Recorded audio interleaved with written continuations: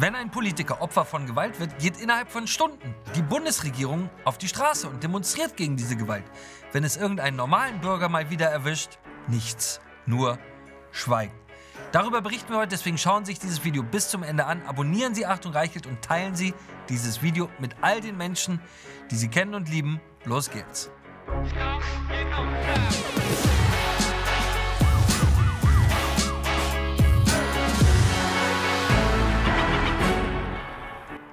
Herzlich willkommen bei Achtung Reichelt in diesen Wochen des Europawahlkampfes, in denen Politiker viel Zeit auf der Straße verbringen, draußen bei den Menschen im Lande, wie es so schön heißt, machen eben diese Politiker eine bittere Erfahrung, die Millionen Bürger nahezu jeden Tag machen. Im Lande ist es draußen nicht mehr sicher, besonders nach Einbruch der Dunkelheit. Politiker von SPD, Grünen und AfD wurden in den letzten Tagen unvermittelt angegriffen, verprügelt, verletzt, krankenhausreif geschlagen.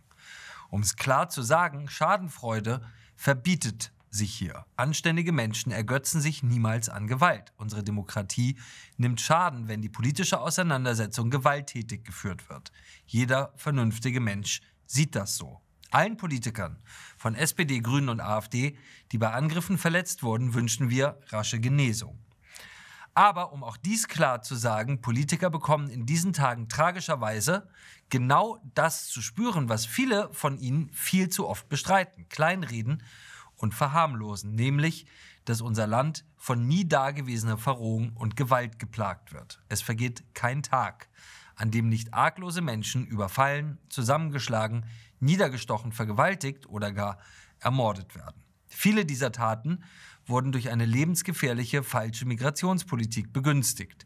Die Täter sind dramatisch überproportional Ausländer. Die meisten von ihnen hätten niemals in unser Land kommen dürfen oder hätten es längst wieder verlassen müssen. Auf deutschen Friedhöfen liegen viel zu viele Menschen, die ihren Mördern niemals hätten begegnen dürfen. Wenn die Täter amtlich Deutsche sind, dann ist es nicht mehr erwünscht, nach den Vornamen zu fragen, weil das offenbaren würde, was wir alle ohnehin längst wissen. Der überwältigende Anteil der Gewalt kommt aus Parallelgesellschaften über uns. Jeder Polizist im Land kann das bestätigen. Eines ist in den letzten Tagen deutlich geworden. Wenn einer der Iren angegriffen wird, finden Politiker innerhalb kürzester Zeit klare Worte und kündigen an, die Täter zu jagen und ihrer gerechten Strafe zuzuführen. Besonders wenn sie wittern, aus den Taten politisches Kapital schlagen zu können. Wenn aber irgendwo im Land mal wieder zum unzähligsten Male ein normaler Mensch ermordet wird, dann schweigen diese Leute. Das hier ist Martin. Martin wurde nur 30 Jahre alt. In der Nacht zum 1. Mai gegen 0.50 Uhr wurde Martin an einem Kiosk in Paderborn von mehreren Männern angegriffen. Und das hier sind die Täter, nach denen die Polizei gesucht hat. Ein Marokkaner und ein Tunesier. Sie waren mehrere Tage auf der Flucht. Offiziell sind sie 17 und 18 Jahre alt. Jeder Mensch kann sehen, dass das gelogen ist.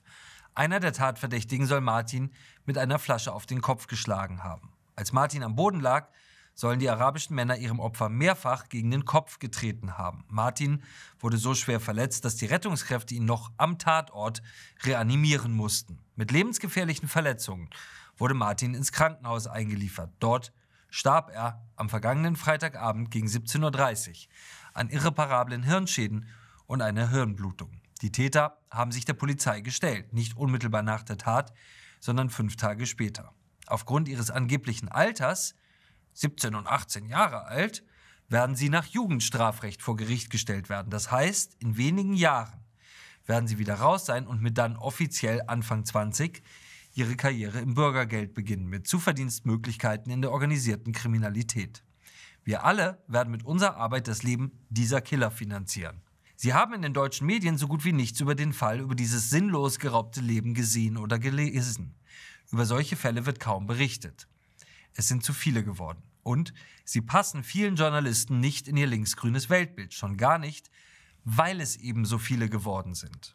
Kein Politiker der Bundesregierung hat sich zu diesem Mord geäußert, schon gar nicht, Nancy Faeser, die immer wieder behauptet, die größte Gefahr in diesem Land drohe von rechts. Wenn wir von politischer Gewalt sprechen, dann müssen wir endlich auch über die Gewalt sprechen, die aufgrund von verfehlter Politik zu uns eingewandert ist und weiterhin Tag um Tag zu uns einwandert.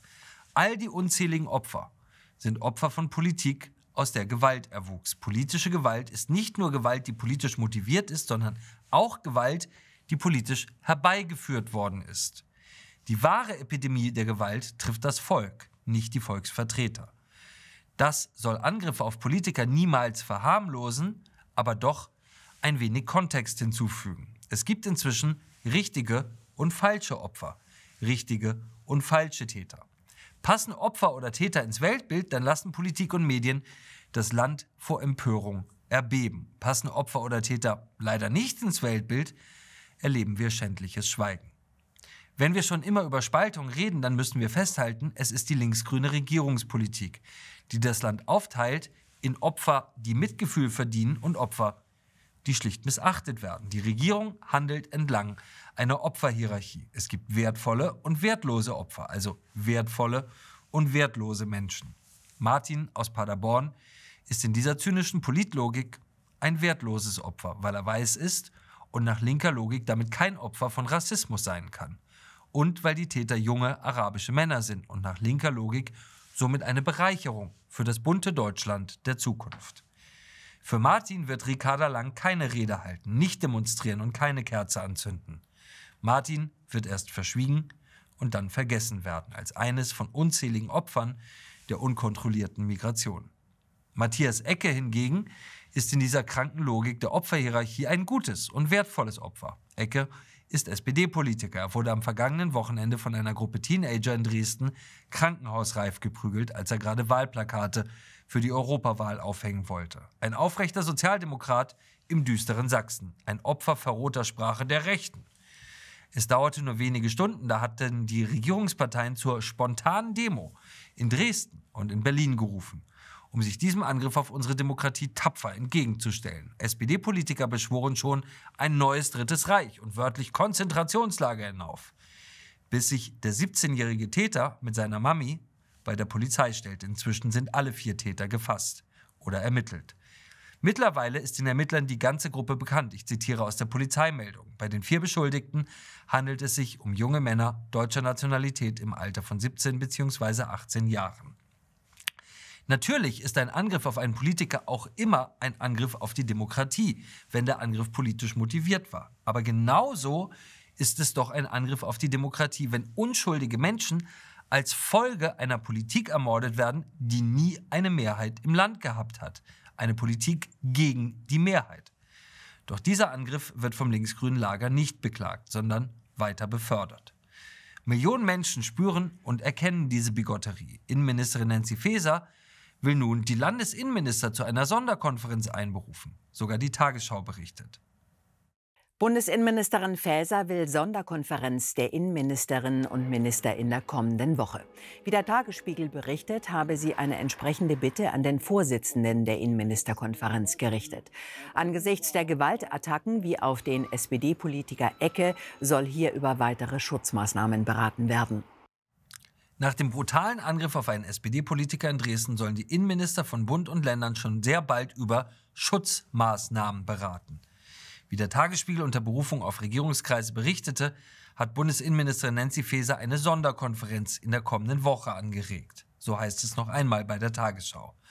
Man kann eine solche Konferenz und Schutzmaßnahmen für Politiker durchaus für richtig und sinnvoll halten. Aber man muss auch klar sagen, dass es eine solche Konferenz und weitere Schutzmaßnahmen noch nie nach Angriffen auf AfD-Politiker gegeben hat, obwohl sie seit sechs Jahren auf Platz 1 der am häufigsten angegriffenen Politiker liegen. Nancy Faeser hat angesichts der explodierenden Gewalt im Land keine Sonderkonferenz einberufen. Nicht gegen die Epidemie der Messer, nicht gegen migrantische Gewalt, die außer Kontrolle ist. Kein Einzelfall kein Islamistenmord war ihr je alarmierend genug für eine solche Sonderkonferenz oder weitere Schutzmaßnahmen für die Bevölkerung. Kein Bürger war Nancy Faeser je ein solches Sondertreffen wert. Auch die Islamisten, die bei uns das Kalifat ausrufen wollen, reichten nicht für eine Sonderkonferenz. Jeder Mensch kann es sehen, Nancy Faeser bewertet Gewalt danach, ob sie ihr politisch in den Kram passt. Der Bundesjustizminister Marco Buschmann gibt sogar erstaunlich offen zu, dass er Opfer in Gruppen aufteilt. Auf Ex schreibt Buschmann, und ich lese es Ihnen vor, Gewalt hat in der politischen Auseinandersetzung nichts zu suchen. Soweit, so richtig. Sie muss uns alle umtreiben. Denn jeder seriöse Demokrat könnte der Nächste sein. Was Buschmann hier sagt, ist dies. Wer aus seiner Sicht nicht seriös ist oder kein Demokrat, was auch immer er damit jetzt genau meint, der kann auch nicht das nächste Opfer sein. Um Opfer sein zu können, muss man vom Bundesjustizminister als seriös eingestuft werden. Wer aus Buschmanns Sicht nicht seriös ist, tja, der kann auch nicht Opfer werden. Wenn der oberste Hüter der deutschen Justiz Menschen in solche Kategorien einteilt, dann, das wissen wir alle, wird es gefährlich im Land. Ricarda Lang schreibt auf Ex. Jetzt ist auch jeder Einzelne gefragt. Übersetzt bedeutet das, wer nicht mitmacht, der macht sich verdächtig. Zeigt Zivilcourage im Netz und auch auf der Straße, fordert Ricarda Lang. Die Wahrheit ist, auf der Straße Zivilcourage zu zeigen, kann inzwischen schnell mit einem Messer zwischen den Rippen enden, wenn man nicht wie Ricarda Lang von bewaffneten Polizisten beschützt wird.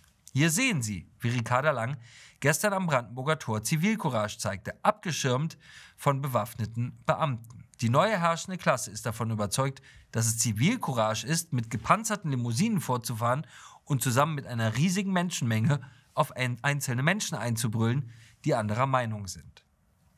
Hier sehen Sie, wie Luisa Neubauer und ihre Gefährten vor dem Brandenburger Tor singen. Schauen Sie. Die Barrikaden wehrt euch, leistet Widerstand gegen rechte Hetze hier im Land. Auf die Barrikaden, auf die Barrikaden, wehrt euch, leistet Widerstand gegen rechte Hetze hier im Land. Auf die Barrikaden, auf die Barrikaden, wehrt euch, leistet Widerstand gegen rechte Hetze hier im Land. Was diese autoritären Nachwuchsaktivisten mit rechter Hetze meinen, ist vollkommen klar. Alles, was nicht links ist. Es geht ihnen nicht um Matthias Ecke, es geht ihnen darum, dass wir uns nicht mehr trauen, unsere Meinung zu sagen. Hier ist, was Robert Habeck, der grüne Vizekanzler, zu dem Angriff über den SPD-Politiker schreibt. Der Angriff auf Matthias Ecke und all die anderen Attacken auf Wahlkampfhelfer, Politikerinnen und Politiker zielen darauf ab, Menschen einzuschüchtern, ihnen Angst zu machen und sie zum Rückzug zu drängen. Aber ihr seid nicht allein. Lasst uns jetzt zusammenhalten.